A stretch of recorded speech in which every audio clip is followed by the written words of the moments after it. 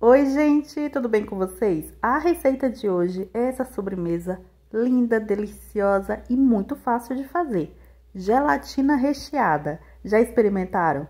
É uma delícia, gente. Assista o vídeo até o final para não perder nenhum detalhe.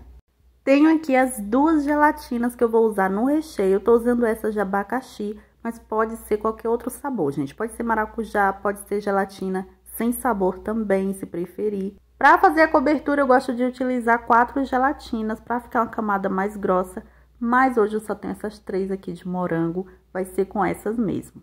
Primeiro, dissolvi as duas gelatinas de abacaxi. Eu usei aqui 250 ml de água quente e 250 de água fria. Tô usando menos água para dissolver essas duas gelatinas, porque eu quero que essa sobremesa fique mais firme.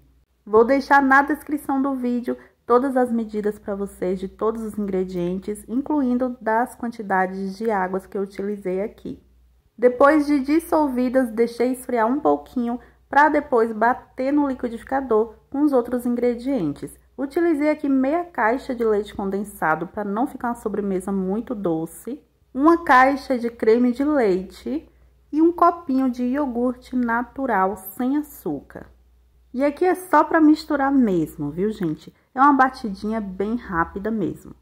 Pode usar qualquer forma aqui nessa sobremesa. Eu tô usando essa de alumínio. Vou deixar a medida para vocês na descrição do vídeo. Coloquei toda essa misturinha, levei para geladeira por 3 horas. Quando a mousse já estava bem firme, aí eu dissolvi uma gelatina de morango, que essa eu vou fazer a primeira parte da cobertura.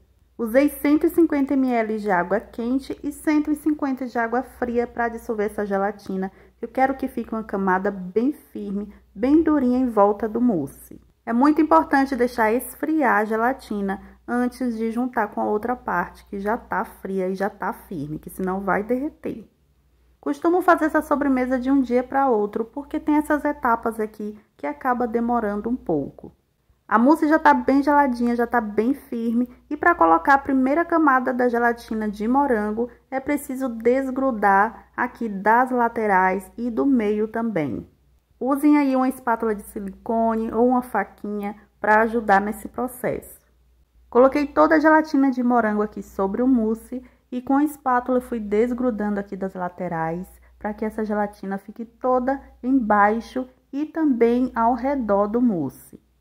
Depois disso, geladeira novamente por umas duas horas até essa gelatina ficar mais firme e depois repetir o processo com a segunda gelatina de morango. Lembrando que cada vez que você dissolver uma gelatina, deixe esfriar primeiro para depois juntar aqui com a sobremesa para não estragar.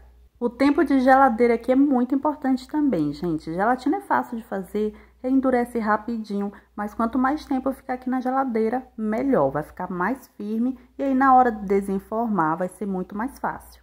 Essa é a terceira e última gelatina para fazer aqui essa camada de baixo. Eu gosto de fazer com duas gelatinas, como eu disse para vocês. Fica uma camada mais grossa, mas como eu fiz só com uma, ficou bem fininha. Levei de volta para a geladeira, como eu disse, eu sempre faço de um dia para outro, então ficou bastante tempo aqui gelando. E para ajudar a desenformar mais fácil e inteira, o importante aqui é não quebrar essa gelatina. Eu vou usando essa espátula de silicone aqui para ajudar a desgrudar nas laterais, no meio também. Lembrando que eu não untei essa forma, tá, gente? Eu não untei com margarina, nem óleo, nem nada. Desenformei a gelatina, deu uma grudadinha aqui na lateral, mas é só virar o lado mais bonito aqui e pronto. Agora é só cortar um pedacinho generoso e aproveitar essa delícia de sobremesa. Sério, gente, ainda não experimentaram essa gelatina recheada? Façam logo, vocês vão amar. E quando fizerem, não esqueçam de deixar aí nos comentários a opinião de vocês. E podem usar outros sabores de gelatina também, que fica maravilhoso. E se gostaram da receita de hoje, não esqueçam de curtir, comentar, compartilhar com quem quiserem. Se inscreva no canal e ative o sininho das notificações para não perder nenhuma novidade. Beijos, fiquem com Deus e até a próxima receitinha.